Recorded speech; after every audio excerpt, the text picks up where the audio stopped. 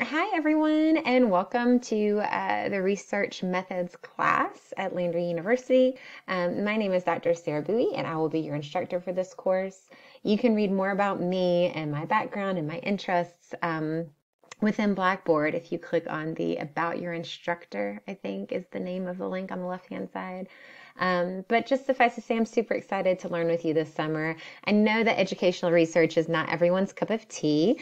Um, I know it's not an exciting kind of um, topic for most people. Uh, but I really think we've done a good job at Lander in creating a course that, yes, is about educational research. And hopefully it's going to make it relevant to you within your context. Um, I would say that my goal for this course, and I've taught this course at um, a couple of other colleges, my goal for this course is that not only will you be able to have the opportunity to research a topic that is of particular professional interest to you, I also want you to leave this class being a more well informed consumer of educational research. Because quite often, teachers are one of the only one of the only professions where research is constantly thrown at us and we might not always have all the tools in our toolbox that we need to really understand that research or be able to critique that research. You know we'll be given a, a new textbook or a new curriculum or a new program and they'll say well it was well researched. I want you to be able to say well let, let's look at that research and really determine um, its strengths, its weaknesses, its gaps, um, and become an advocate for yourself and for the students that you serve. Um, when you have things that are that are said that they're well researched, that's my goal for you in this course. Hopefully, by the end of it, you'll understand educational research a little bit more deeply, so that you're able to do that. Okay, so I am going to adjust this so that you can kind of sort of see me, but that you can also mostly see the syllabus, um, which I sent to you prior to course beginning. So hopefully you've been able to review it. Um, so this this video really is just a quick overview of the course and the syllabus because the fact that we don't meet together, um, people always have questions about the syllabus, and better to go ahead and be proactive and make a video explaining some of the parts that people typically have questions about. Um, so I'm not going to read all of this just to keep you, but I will um, remind you that because it is summer, I don't keep regular office hours, but I'm always available to meet with you, whether it's online or by phone. You just need to email me and we'll set up a time to chat. Um, and you can see my emails listed right there. So we have um, the the textbook for this course has actually been uploaded into Blackboard for you in each module. So there is no text to purchase uh, for this course. We've been able to, to provide that for you. So it is Creswell's Education Research text. Um, it's the fourth edition that we've been able to use here. Um, keeping in mind that as far as communication, I will use Blackboard to email. I'm going to say that again because every course I teach, someone tries to email me from their school account or their personal account that that just gets way too overwhelming to try to track. You are a Lander University student, so I will you utilize Blackboard in order to send emails, whether it's to you as one student or to the entire class.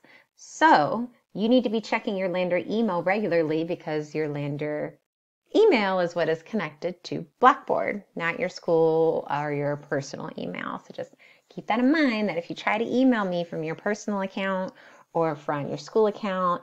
Um, I will probably reply to your, oh, I will, not probably, I will reply to your Lander email so that we can really get in the um, groove of using your Lander email. Um, and then you can see when I typically respond to emails, I've, I've really tried to get out of the habit of having my email on my phone for things like this so that I'm not tempted to immediately reply when I see one come through. I'm not saying that I don't still kind of fall into that, but I'm really trying my best to um, keep a balanced life. And so typically you're going to hear me from 8 to 5 during uh, the week when it comes to emails, unless it's an emergency. Um, so I'm going to skip all this because you can read over all of this on your own, but we will go through the course assignments. There will be weekly discussion boards, which take the place of us meeting in person for class. So you do have to be an active participant within those discussion boards um, because that's the way that we're going to communicate with one another regularly. So this course views all of us as learners. That's why I started this video saying I'm excited to learn with you this summer um, because you're all experts in areas that I am not an expert in, and I'm an expert in some areas that you're not an expert in. So hopefully we can all learn from one another. And that is shown through the discussion board by you posting original posts, but also replying to your classmates. And you'll see within Blackboard uh, where it states you are expected to reply to two classmates and for those to be thoughtful replies. And we, we flesh out what that really means. You will also have weekly articles. Um, you will be ex- expected to post access, either a PDF or a link, to an article each week that is related to the topic that you select. So when you start this course, and you'll see within the modules, you are going to select a topic that is important to you as an educator, and that can be anything you want. Think about a topic that keeps you up at night when you're thinking about your role as an educator. Um, and that usually is, is a great choice because then you're already really invested and passionate about it. Um, and I've had a wide range of topics that students have picked from discipline in schools to the use of small groups in high school science. I mean, it has run the gamut. So, any kind of topic you want, but that topic is going to drive the weekly articles that you submit every week, which then will feed into the literature review, which is your final project. So, let's say that my topic is. Um, uh, let's say mine is the, the uh, sorry, I'm coming up. I had like four different ideas come into my head. The efficacy of after school programs. Maybe that's my topic. You know, how effective really are after school programs on students' academic achievement? Okay. So that, that that's what I'm going to look for as far as when it comes to articles. And then you're going to submit a citation of that article and a paragraph summary of that article every week using APA style. And so these weekly articles that you collect will then feed into the literature review that you do at the end of the week. And believe me, you have guidance within your modules to explain to you, you know, how to find these articles, um, what that looks like when you're citing them in APA.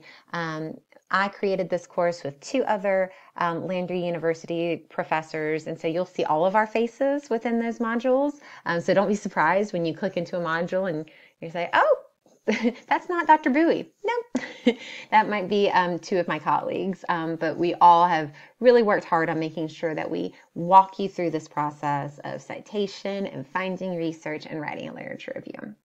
So, weekly articles. And all that is is just, hey, here's the access to it. Here's the PDF, here's the link, as well as the citation and just a, a quick summary, like three to five sentences that's it. So that's every week.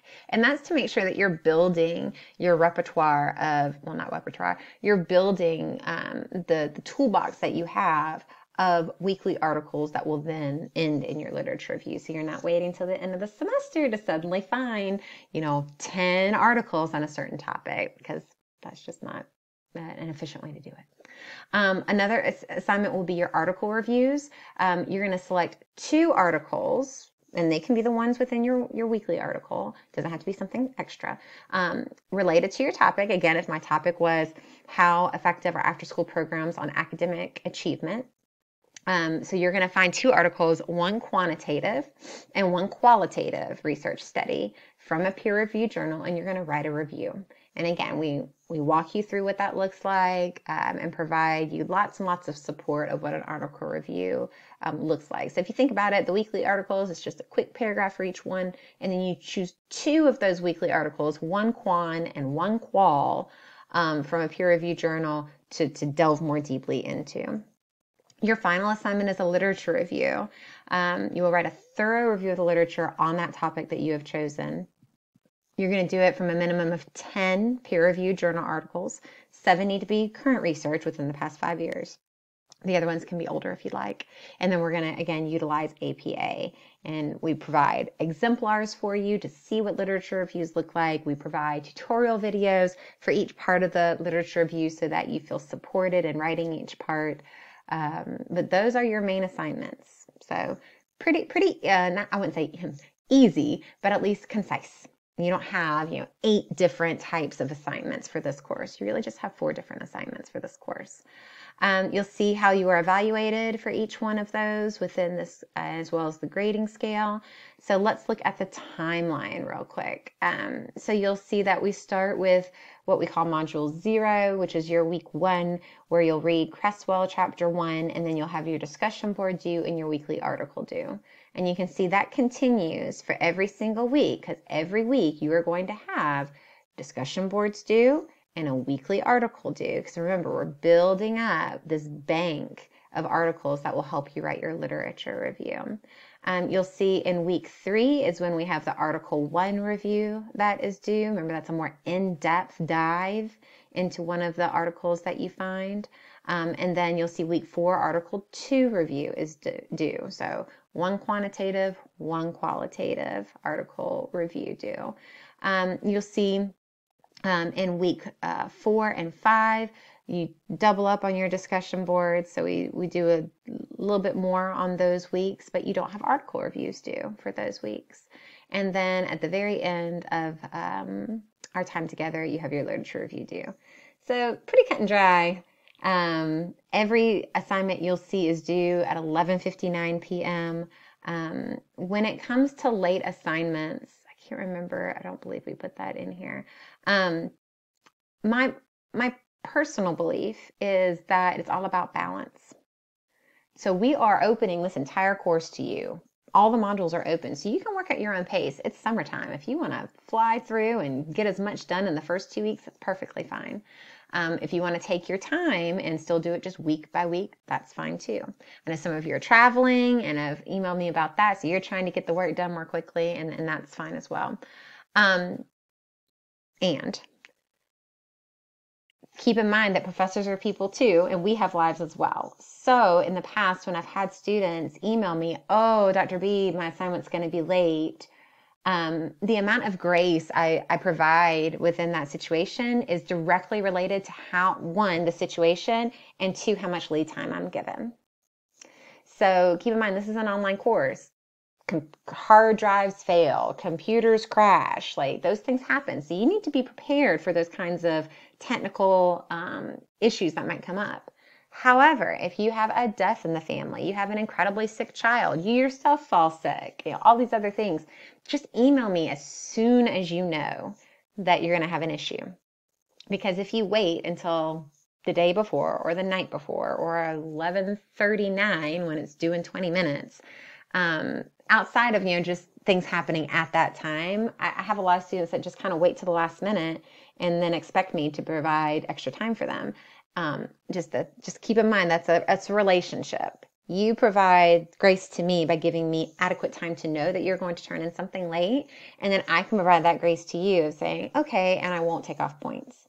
Um, but if it continues to be a theme or a pattern of late assignments then we might have to meet and talk and figure out what's going on to keep things coming in on time. Because remember, due dates aren't there as a bad thing for you. They're there to, to help me to grade on time and to help you to get your um, assignments done on time. But I also know that learning is not always time based and that things happen, which is why we've opened the entire course to you. You have all the modules at your disposal to complete, uh, you know, as you'd like, but that the deadlines are still there to help us out. So, if you have any questions about that, you know, just let me know. Um, I'm trying to think if there's anything else. I don't think so. If you have questions, you just need to email me as soon as possible so that we can set up a time to talk or chat about uh, the questions that you have. But it is a pretty cut and dry course. Um, and I look forward to uh, learning with you all this summer. So, talk to you soon.